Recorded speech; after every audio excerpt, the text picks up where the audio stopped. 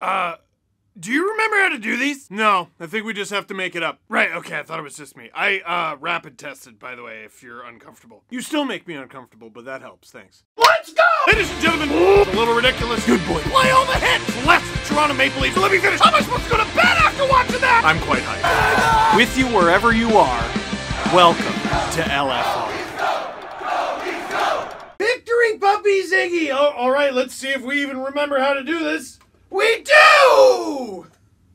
Good job. Hope I don't pull something. It's been a while. Leafs win! Six to nothing, good gracious, over the Ottawa Senators. Well, in case you forgot, hey, Steve Dangle here. Welcome to my YouTube channel where I do LFR videos reacting to each and every Leafs game after they happen. Could not believe it on the broadcast when they said the Leafs still have over 50 games remaining. At the beginning of the night, the Leafs had almost as many games remaining this season as they had in a full season last year. There's a lot of race left to be ran. Obviously, this was a drubbing. The Leafs just demolished the Ottawa Senators. This game was not even close, not for a minute at any point during this game. So rather than talk about the game, break down piece by piece, I want to talk about uh, the break that we just had, and I want to talk about 2021 and what I'm grateful for because everyone did their little tweet thread and I never did mine. And then I was to make a video and I got lazy and I'm like, well, wait a sec, you have an LFR tonight. And I said, I do?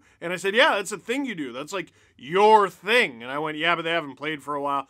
I, I, there aren't many people to talk to right now. So, what happened? Senators, obviously missing a bunch of guys up front, and no, no roster in the league is whole right now. The Leafs, ironically, uh, their forward group is the healthiest it's been all season long. The only absences you can see on the Leafs are on the back end. Jake Muzzin not quite ready to rejoin the lineup, and Timothy Liljegren still in protocol. But apart from the Leafs getting a bunch of guys back from protocol, Mitch Marner, his first game back in a while, Jason Spezza, his first game back after suspension, and Rasmus Sandin back in the lineup after, um, well, he got injured in the same game that Spezza got suspended in. A lot has happened. A lot. Matt Murray back in the net for the Ottawa Senators, which is a great story and Oh, I was conflicted. I know some of you are thirsty for blood, okay? But as a as a hockey fan and as a fan of people, I wanted to cheer for Matt Murray while also actively cheering against him on account of you know, he plays for the other team. And the game doesn't start very well for the Ottawa Senators and the night is busy for Matt Murray. The Leafs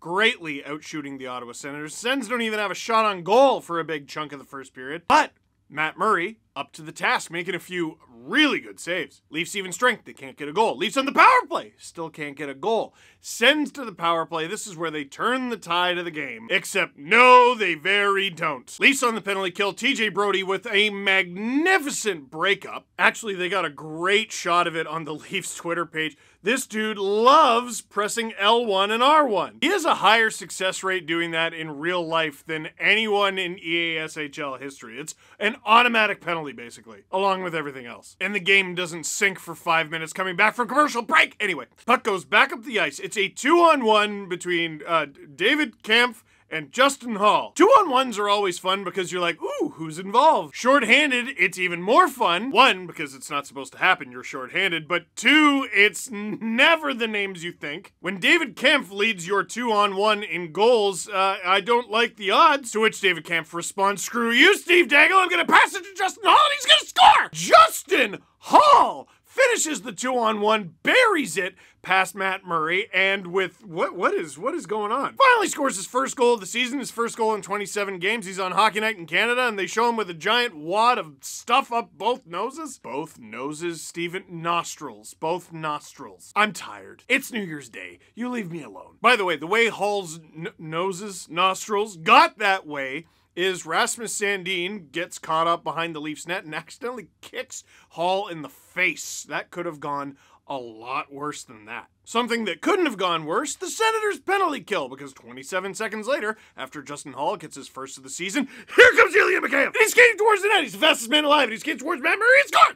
Ilya Mikheyev! This is... It, his injury in his rookie year was to his wrist, and his injury this year was to his thumb. Mikheyev's best asset has always been his feet, and he hasn't suffered a major injury there, so they're doing just fine. He is honest to goodness Who's faster in the NHL? How many names? How many how many names? If there was an endless budget, if some billionaire named me paid everyone in the NHL to show up to the All-Star game and had a skills competition, where does Ilya Mikheyev finish the fastest skater. If I'm not mistaken from the All Star game in St. Louis, Matt Barzal is actually the NHL's reigning fastest skater. He beat Connor McDavid. But remember, fastest skater involves the, the turn, actually, several turns. I don't know how Mikheyev would do with the turn, but if it was just from goal line to goal line, I don't think anybody beats Mikheyev.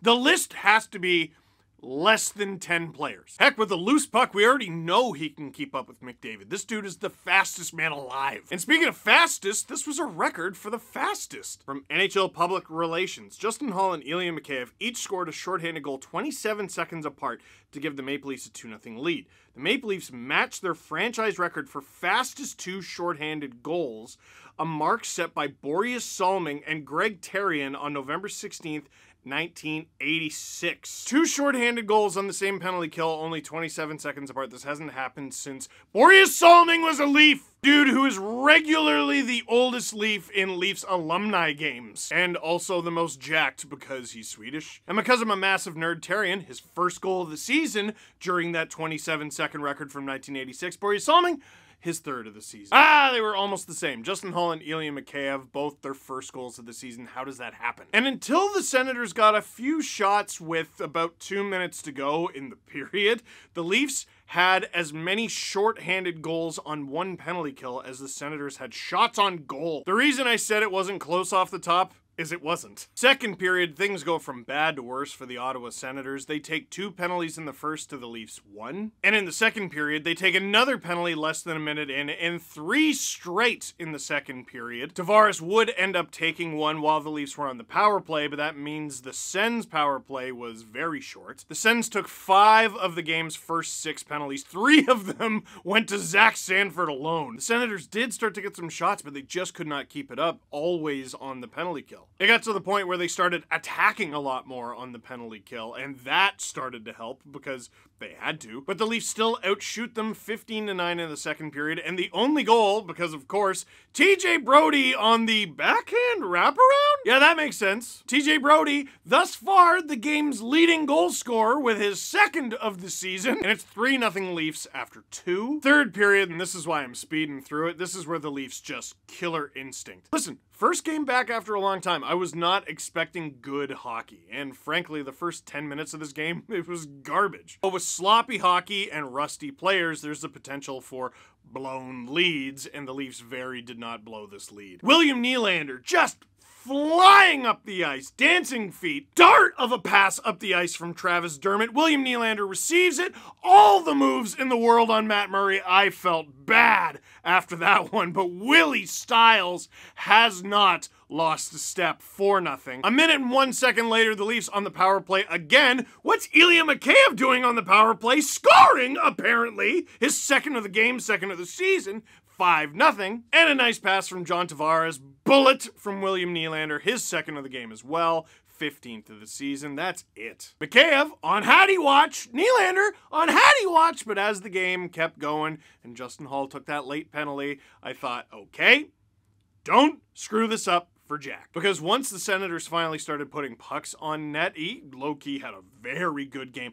That unbelievable toe save he had. But the clock winds down. Soup stops all 23 shots for the shutout, and the Leafs win 6 nothing. So before we get to questions, let's let's address some stuff that I didn't off the top. Um, there weren't any fans well, actually, no, there were a couple fans. If you watch the Watch a Leafs game with Steve Dangle uh, stream on the Sportsnet YouTube channel, you'll notice I went, is that Dart Guy? Dart Guy was there. He was there with Curtis from Alberta. You've probably seen him on Twitter. He's the Leaf fan from Alberta with the unbelievable Leaf shrine, every jersey ever. There's two Leafs memorabilia shrines I've ever seen. And basically, one and two, like the Crosby and Ovechkin of the two, uh, Leaf fan Mike, who I'm sure you know of, who lives in Toronto with the ridiculous shrine, and Curtis from Alberta. Nothing else I've seen even comes close. So those two were there. I don't know how that happened, but good for them. Other than that, there weren't any fans in the building. And I got a lot of complaint tweets about that. And listen, it's weird. It's weird and I don't like it. It's especially weird because there was a game in like minus 20 temperatures in Minnesota where the building was just packed with people. And then there's two guys, as far as I can tell, and Carlton. Carlton the Bear was there as well in Toronto. The Leafs not having fans in the stands and the reduced capacities throughout Canada, I think that's only going to be a temporary thing. I certainly hope it's going to be a temporary thing. I hope COVID's a temporary thing. I'm not going to get that worked up about it because, dude, I, they're playing the games. They're playing the games. That it wasn't clear they were going to do that for a while. The NHL's decided come hell or high water, they're going to do these things if no fans in the building for like, I don't know, a month is what it takes, fine. Questions, and then I want to talk to you about the year that was. Rate Holl's play on a scale of 1 to 10 based on tonight's performance alone. Well, I gotta tell you, he stepped up. I mean, uh, Muzzin Liljegren essentially became the shutdown pair after Holl was kicked off it, and neither of those players was able to play in this game. So it was Holl playing with, who did Holl get to play with? Sandin, I don't know if that's ever really been a pairing. And it was Dermott Biega. Dermott Biega, by the way, no chemistry whatsoever. And they played a pretty good game. But Holl looked poised. And I don't know if there's a player who needed a little bit of time more than Justin Holl. He had the injury during training camp, which is sort of an underrated thing with him and not talked about enough.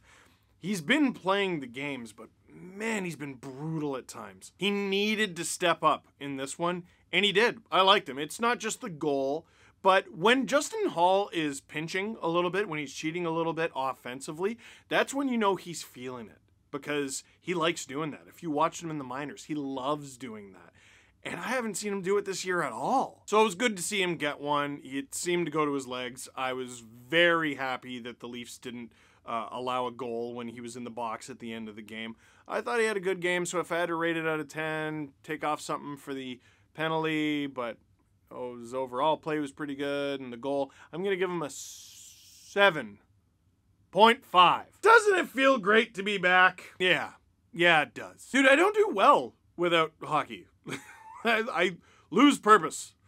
Okay, and when it happens in the middle of the season, when there aren't NHL games in like December, I get antsy because uh, what the heck? So it feels good that it's back. It's a, you know, there's some things about it that are a little different, but I'm glad it's back. And a little bit of positivity here. Thanks to Paul for this one. Way to go, Paul! Leafs win aside, can we take a moment to acknowledge the incredible story out of Vancouver today regarding their assistant equipment manager and the Kraken fan who potentially saved his life? So I'm not going to read that entire thing out loud, but basically what happened is during a Canucks versus Kraken game in Seattle, there was a Seattle Kraken fan sitting behind the Vancouver Canucks bench.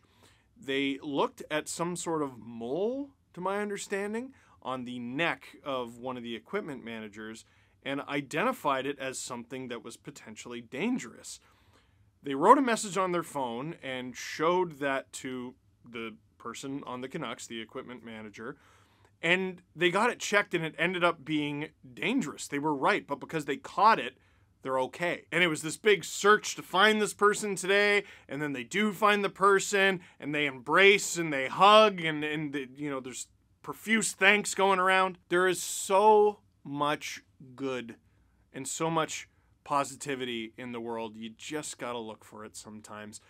Bless the Vancouver Canucks, genuinely bless them for putting that out into the world because I think we all needed a little bit of that. So, allow me to be a little uh, indulgent. I want to talk about 2021. I, I do want to talk about Watch a Leafs game with Steve Dangle real quick. If you watched that stream, you know it was a bit of a mess. Uh, it was technical difficulties. Nothing we can do about it. So it was supposed to be my night off. Uh, Nick Kypreos and Justin Bourne were supposed to fill in, and they did for the first period.